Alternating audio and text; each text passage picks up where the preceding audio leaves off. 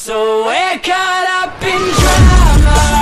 Everybody's talking, everybody's talking. We're caught up in problem. Everybody's talking, everybody's talking. Hi, I am Andrew, and today I will talk to you about Disk Space Fan Free. Above you can see the screenshots of Disk Space Fan Free for Windows. With time, the hard drive gets overcrowded with files that take up a lot of space on the disks.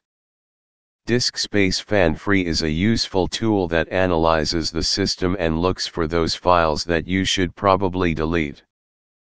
The app comes with a nice and colorful interface, displaying the scan results with an interesting chart. At startup, the app does a quick, superficial scan of the system, evaluating the disk size and the amount of used space. You can scan any of the drives on the computer, including mobile devices. The results are displayed in a chart structured by folder and subfolder.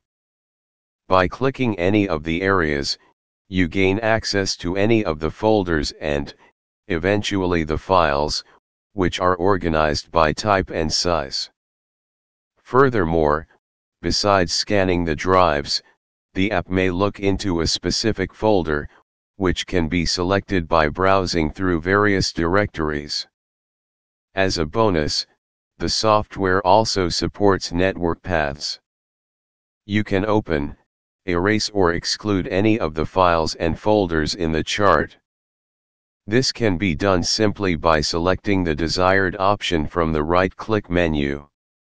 Scanning is done quite fast, but the time spent on this operation depends on the size of the disk and the number of files, especially since the app analyzes all items. The fact of the matter is that Disk Space Fan Free is a useful tool that can locate all the files that are crowding the system. The user-friendly interface should be easy to figure out even by those with less experience. You can read this review, add your own review, or download disk space fan free from Softpaz in the link in description. Have a good day.